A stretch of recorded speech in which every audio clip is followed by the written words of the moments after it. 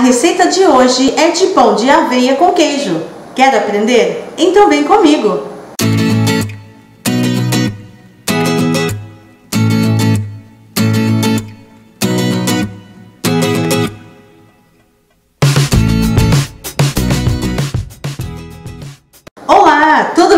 Bem? Seja muito bem-vindo! Eu sou Eliana Severino e nesse vídeo vou passar a receita de pão de aveia com queijo. Muito fofinho, saudável, sem glúten e o melhor, o preparo é super fácil. Ele é todo feito no liquidificador. Tenho certeza que você vai adorar. Assista o vídeo completo para ver o passo a passo da receita. Mas antes de começar a ver a receita, dê um joinha nesse vídeo e compartilhe para que o YouTube distribua esse vídeo para mais gente e todos aprendam a fazer esse pão maravilhoso.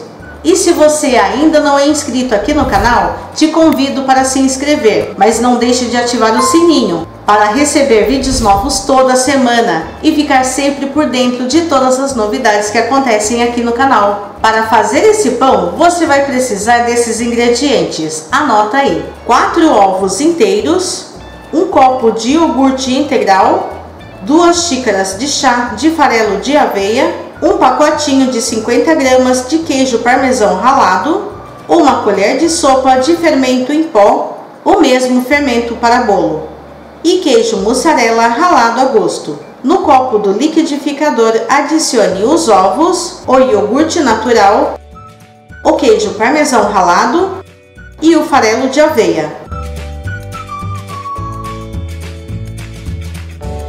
Bata tudo em velocidade média por 3 minutos, até ficar uma massa bem cremosa.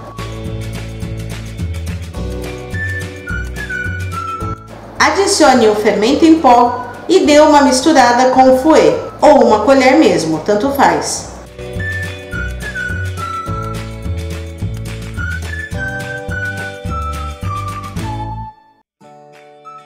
Veja como a massa já começa a crescer. Despeje a massa em uma forma de pão untada com manteiga e polvilhada com farelo de aveia.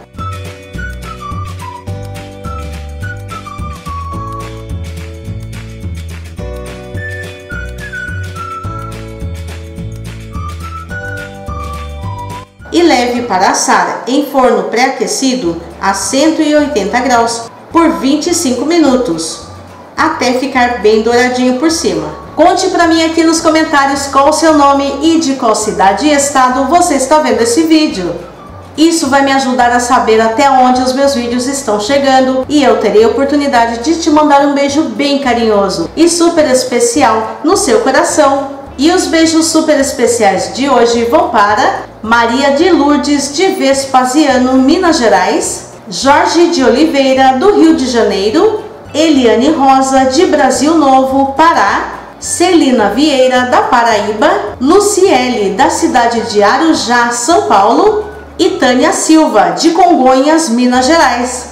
Ela disse que amou a receita do bolo integral de aveia, porque é diabética, e essa receita está de acordo com a dieta dela. Olha só que bacana! Meus amores, um beijo bem carinhoso e super especial no coração de cada um de vocês. Muito obrigada pelo seu carinho. Obrigada por estar aqui no canal, curtindo as minhas receitas, compartilhando os meus vídeos. É um imenso prazer recebê-los. Sejam sempre muito bem-vindos. E está pronto esse pão maravilhoso. Desenforme ainda quente. Gosto de deixar esfriando em cima de uma grelha, para que o pão não perca a crocância. Mas se quiser, já pode comer assim mesmo, bem quentinho. Olha só como ele fica fofinho.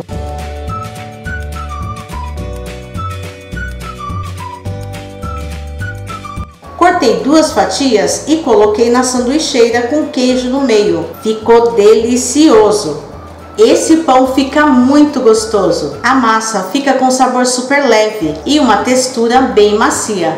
Faça essa receita para o lanche aí na sua casa e depois volte aqui para me contar o que você achou. E se você gosta de receitas fáceis e deliciosas como essa, dê um joinha nesse vídeo e compartilhe com todo mundo. Inscreva-se no canal e ative o sininho para ser avisado pelo YouTube toda vez que tiver vídeo novo aqui no canal e você não perder nenhuma receita. A lista com os ingredientes que usei para fazer esse pão está aqui na descrição do vídeo. Depois dê uma olhadinha lá. E mais uma vez, muito obrigada pela sua atenção e um beijo enorme no seu coração. Até mais!